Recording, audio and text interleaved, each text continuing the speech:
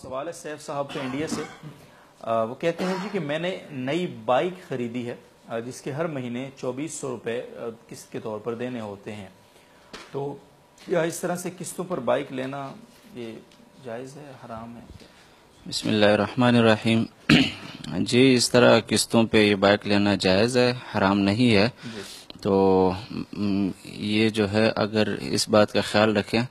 कि किस पर अगर बर वक्त अदायगी ना हो तो उस पर जुर्माना ना हो अगर इसकी मुद्दत मुकर है कि इतनी मुद्दत में हर महीने इतने पैसे देना लाजिम है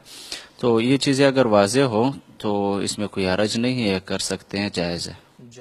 वीडियो के नीचे सब्सक्राइब के बटन पर क्लिक करें बेल के आइकन पर क्लिक करें ताकि हर नई वीडियो की नोटिफिकेशन आपको मिल जाए और अगर आप रोज़ाना व्हाट्सएप पर शॉर्ट क्लिप हासिल करना चाहते हैं तो अभी इस नंबर पर व्हाट्सएप पर मैसेज करें zero three zero seven two seven nine nine one six nine